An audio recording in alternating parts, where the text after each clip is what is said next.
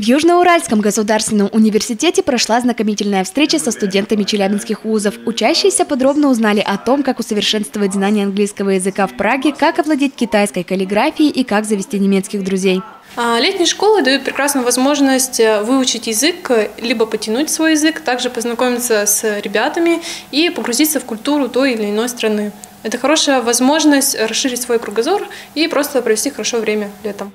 Также на встречу был приглашен специальный гость. Это Томас Шмальц. Он является директором студенческой организации «Студентенвек» во Фрайберге. Он рассказал студентам об идее обмена русских и иностранных студентов во время летнего отдыха.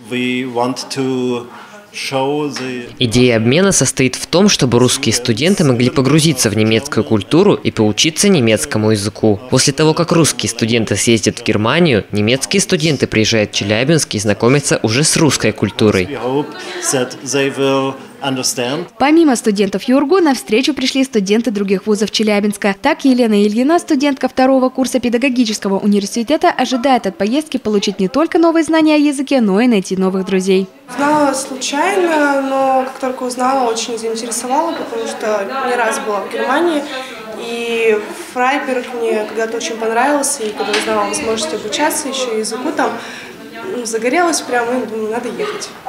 Сотрудничество между Юргу и вузами Европы длится более 10 лет. Южноуральский государственный университет ежегодно реализует 10-12 совместных магистрских образовательных программ двойных дипломов.